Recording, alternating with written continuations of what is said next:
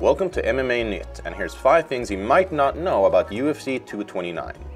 So, UFC 229 takes place in the T-Mobile Arena in Las Vegas, the fight capital of the world.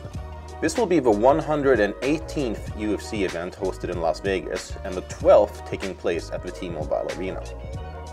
Injuries ahead of events are fairly common, but so far not a single fighter has pulled out of UFC 229 due to injury, However, Sean O'Malley was pulled from the card following a still undisclosed USADA violation.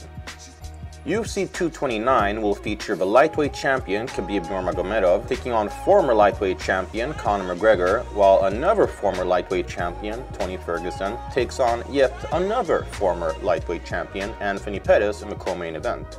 However, between all these four fighters, only a single title defense has been made. Khabib Nurmagomedov is well known for his impressive win streak, but he and Tony Ferguson are actually tied at third place for longest active win streak in the UFC with 10 straight UFC wins each. The previous record for biggest UFC pay-per-view was UFC 100, with over 1.6 million pay-per-view purchases, which was beaten by UFC 202, McGregor vs. Diaz, with 1.65 million pay-per-view purchases. However, these records may very well be completely shattered as UFC president Dana White has predicted over 3 million pay-per-view buys, which, if it now happens, would be almost double the previous record. However, it remains to be seen if UFC 229 can do as well as White has predicted.